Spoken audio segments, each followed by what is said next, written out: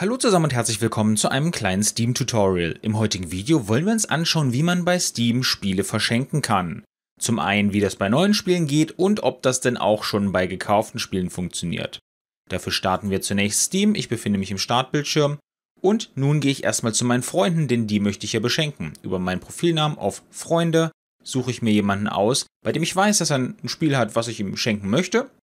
Hier gehe ich auf die Spiele und hier kann ich dann in die Wunschliste wechseln und da kann man kurz durchgucken und ich habe mich für dieses Spiel entschieden.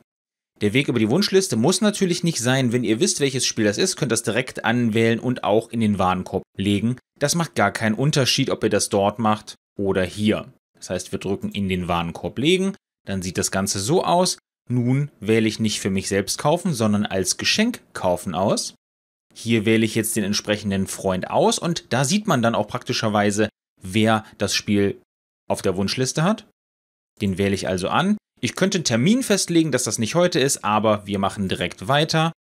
Hier muss ich jetzt diese Karte sogar einigermaßen ausfüllen, was schwierig ist, weil ich den Namen dieser Person eigentlich, ich glaube, ich wusste den mal, ist aber fünf Jahre her oder so.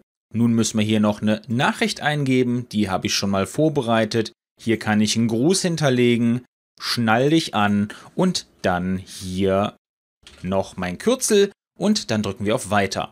Damit haben wir jetzt den Bereich ausgefüllt, der dafür zuständig ist, wem wir das Spiel denn schenken. Das ist jetzt wieder die ganz normale Zahlungsabwicklung. Die sollte jedem bekannt sein, das heißt, hier muss man zustimmen und dann kaufen und dann lädt das. Und nun wurde dieses Spiel dieser Person eben gekauft. Ganz, ganz easy, so ein Spiel an Freunde zu verschenken.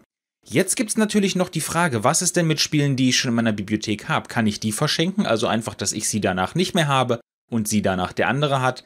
Leider geht das nicht. Das wird wahrscheinlich auch eine der häufigen Fragen sein, aber leider funktioniert das nicht. Sobald ihr eine Lizenz eingelöst habt, ist die auf euer Konto aktiv und diese Lizenz lässt sich so leider nicht übertragen. Das ist schade, aber ich denke, diese Frage muss halt beantwortet werden. Damit haben wir beide Themen abgedeckt, wie man denn bei Steam Spiele verschenkt und ob das überhaupt möglich ist. Und dann sind wir mit diesem Video auch fertig. Ich hoffe, das Ganze hat euch gefallen und wir sehen uns im nächsten Tutorial wieder. Bis dahin, euer Schavo. Ciao.